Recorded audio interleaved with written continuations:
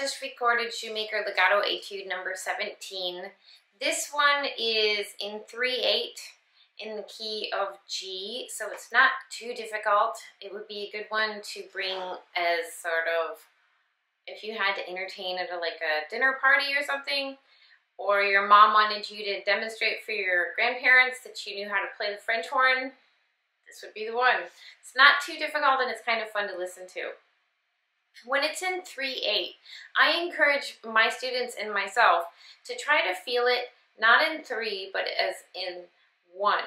This will help your phrasing and your uh, musicality because usually when people or composers compose in like a 3-8, they really do want you to kind of just feel it in 1. So that's my main suggestion for this one. Um, I don't have a whole lot of tips. I just wanted to just address today a question I had from some people about how I finger my horn.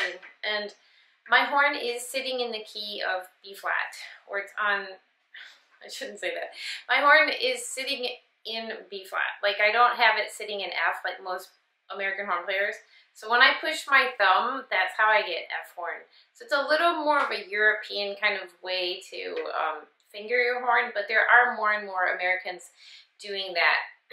I chose to, to do that because I want all of my horns to feel the same. My descant and any doubles I play. It does make it difficult to demonstrate on someone else's horn or use someone else's horn because pretty much everybody in America plays with it sitting in F, so that's kind of a pain. But as far as my own playing, I like it to be sitting in B flat. Uh, another thing that people were asking me was, why do you change your fingerings for like D's? Um, and how much B flat horn do you use? I basically use the fingerings that I want to use in order to make the horn play better in tune. It's not necessarily that it's just always easier. Most of the time I choose it because of the intonation and where I want the note to sit, if I want it a little sharper or flatter. So that's most of my reasoning behind choosing different fingerings.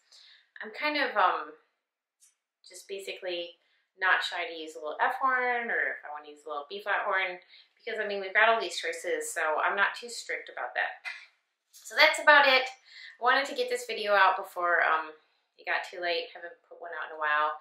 We had some big storms here in Texas, as you probably knew. So anyway, this is 17, and then I have, I'll be like two-thirds of the way through the book. There's 24. Watch out. Thanks.